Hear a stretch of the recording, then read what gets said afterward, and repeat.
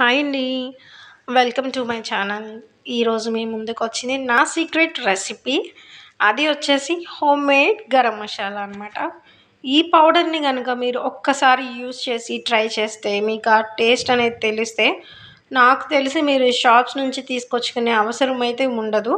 మీరు ఆ ప్యాకెట్స్ని స్కిప్ చేయడంలో కూడా అస్సలు ఎటువంటి సందేహం అనిపించదు. హోమ్ మేడ్ కదా చాలా బాగా అనిపిస్తుంది ఫ్లేవర్ చూడండి నేను ఈ కప్తో ఒక టూ కప్స్ ధనియాలు తీసుకుంటున్నాను ఈ ఇంగ్రీడియంట్స్కి నాకు తెలిసి ఇది లో ఇంగ్రీడియంట్సే కొంచెం కొంచెమే తీసుకున్నాను. నాకు ఇది ఒక టెన్ డేస్ అలా వస్తుంది. ఇది అయిపోయేలోపు నేను మళ్ళీ పట్టేసుకుంటాను.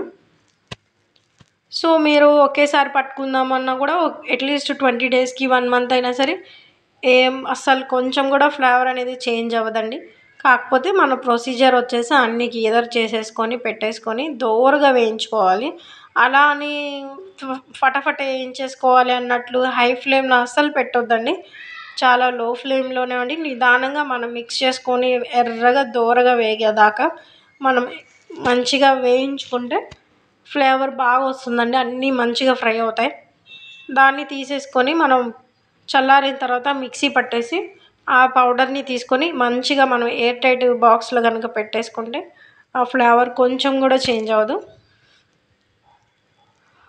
ఆల్మోస్ట్ అయిపో వచ్చేసింది.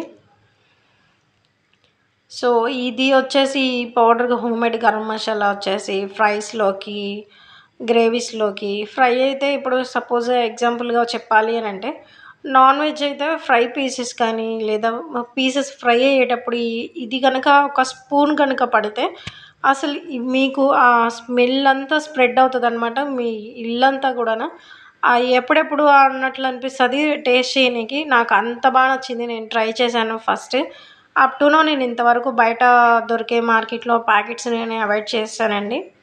చాలా లో ఇంగ్రీడియంట్స్ అనే అనుకుంటున్నాను నేనైతే.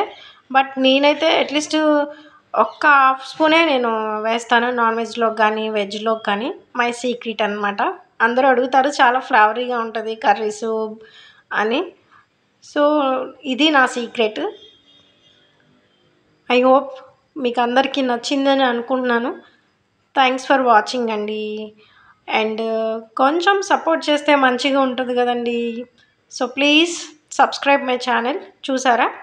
ఫైన్ పేస్ట్ ఇలా అయిపోయింది. Thanks for watching once again. Bye.